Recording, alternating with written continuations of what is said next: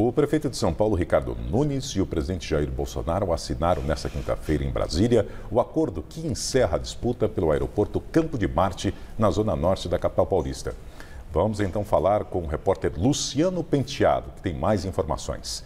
Boa noite, Luciano. Boa noite, Laerte. Boa noite a todos. Pois é, é o fim de uma batalha judicial que se arrasta desde 1958, portanto há 64 anos. O que acontece? A prefeitura é dona do terreno, só que o, a União ocupou o Campo de Marte desde a Revolução Constitucionalista de 1932. É por isso que desde então a prefeitura paga para o governo federal uma multa avaliada em 25 bilhões de reais que vem sendo paga mensalmente com parcelas de 200 250 milhões de reais. E aí, hoje, pelo acordo assinado lá em Brasília, no qual participaram o prefeito Ricardo Nunes, do MDB, e o presidente Jair Bolsonaro, do PL, como você falou, São Paulo, né, a capital, abre mão desse dinheiro, dessa multa, e em troca cede para a aeronáutica os direitos de administração definitiva do terreno para a futura construção de um aeroporto no campo de Marte. De acordo com o prefeito Ricardo Nunes, esse dinheiro que São Paulo pagava né, até, até hoje, 3 bilhões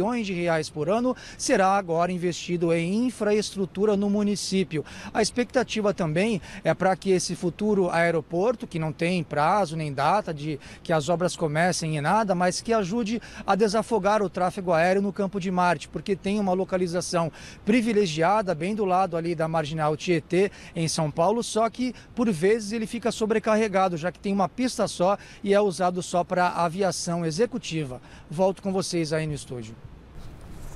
Obrigado, Luciano.